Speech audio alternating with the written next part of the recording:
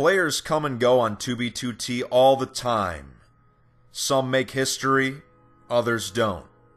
But there is one player that left their mark on 2B2T forever, and that player's name is Pop Bob. Chances are you've heard the name before, but do you really know the story? There was a time on the server where just seeing him was a death sentence. Pop Bob has griefed more bases and monuments than any other player in 2B2T history. He's a lone wolf. He fights for no one but himself. And his reign of terror lasted years. No one was safe from Pop Bob.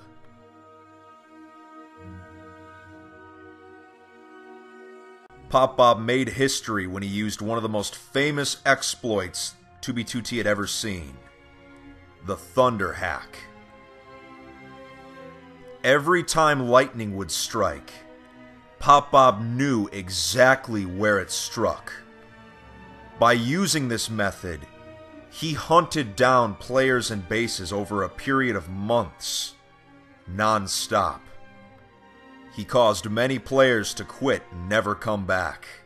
Using this method, he found me, destroyed my base, and killed me.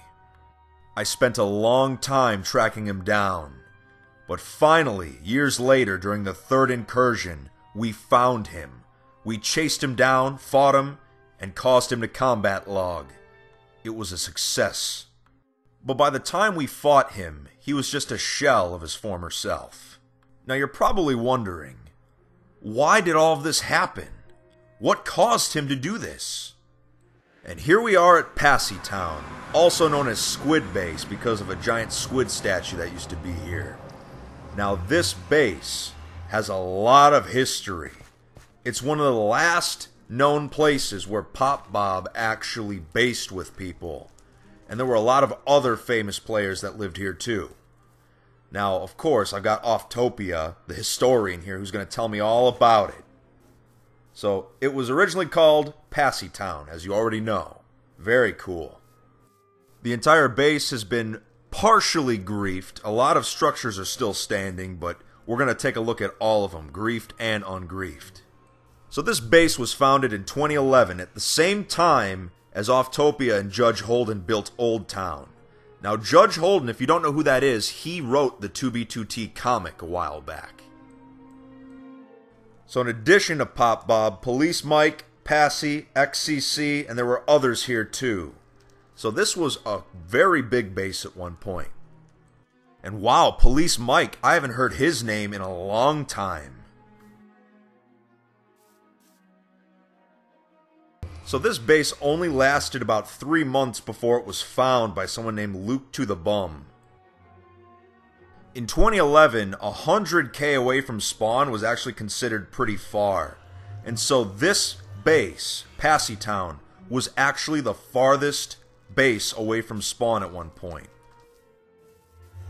It was never griefed much, but still, it's funny to think that they used to consider 100k to be like far where now we have bases out in the millions. There was probably a fire here at some point. Maybe some TNT too.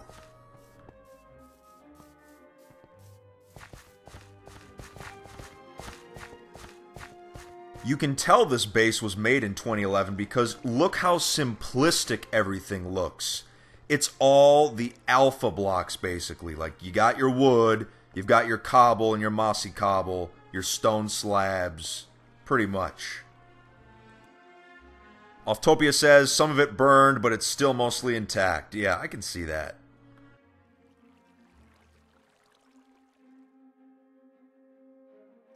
But wow, it's weird to think that five years ago, this was the base to be at. Like, this was the number one base.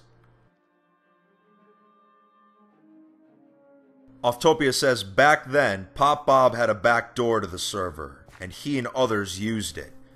Now, there have been many backdoors in 2B2T's history, but that is just one example of it. And it looks like this is a list of the players that used to live here. Wow. It's weird to think that these players, most of whom don't even play anymore, wrote these five years ago. Offtopia says that after this base was abandoned, Police Mike, Chase, Passie, and XCC all banded together while Pop Bob just became a recluse and went off on his own. He would never group up, base, or build with anyone else ever again.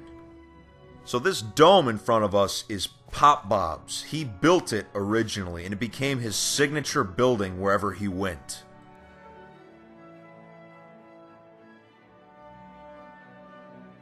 The guy may have griefed a lot, but he did know how to build.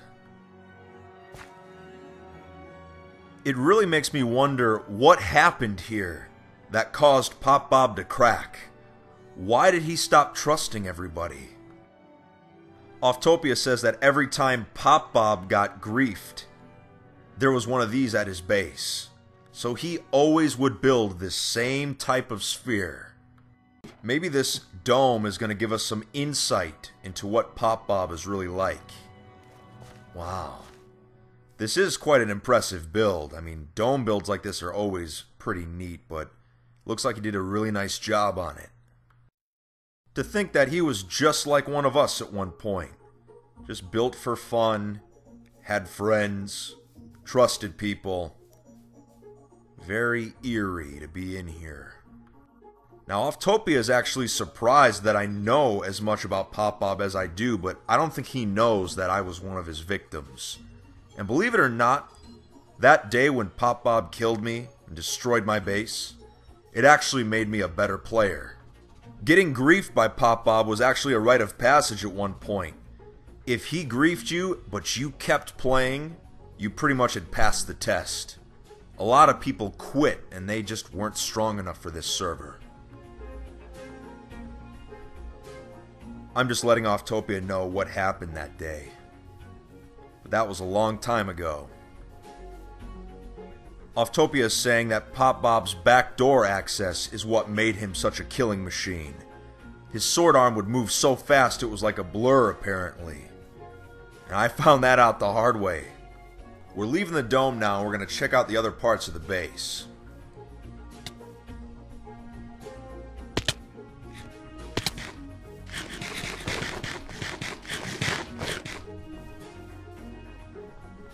Offtopia is going to tell me a little bit about this castle with all the fire on top of it. Now this was built by Passie and XCC. And now Passie's famous for building a lot of castles on the server, so this one makes sense. So this town and Old Town were both the starter bases for many more bases.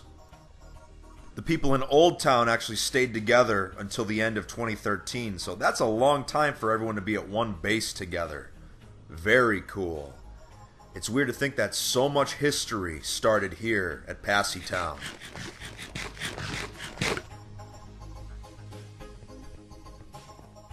Oh wow, a pig spawner. That's a clear sign they had access to the back door. I haven't seen one of those since Camtown. Jeez if we're talking about the 2B2T timeline, you're going to notice that a lot of the old bases from the Facepunch era, they were called towns. It wasn't like the later eras where they were named after like famous mythological places. They were just towns. And looking at this thing, I'm surprised it's still standing. I mean, it's made out of wood. I can't believe no one tried to burn this place down. Has a very lodge feel to it. You know, like a, a, hunting lodge or a place you'd see in the very northern part of the continental United States. Offtopia is just commenting that places like this were common back when there weren't that many fancy blocks. Yeah, these old bases, they didn't have a lot to work with, so they had to get creative with what little selection of blocks they had.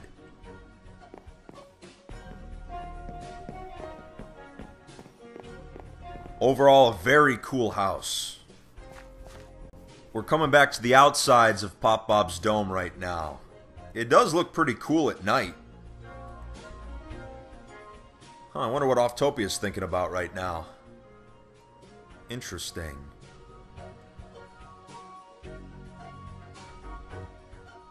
Offtopia says Pop Bob griefed so many of us, and his build is still standing here.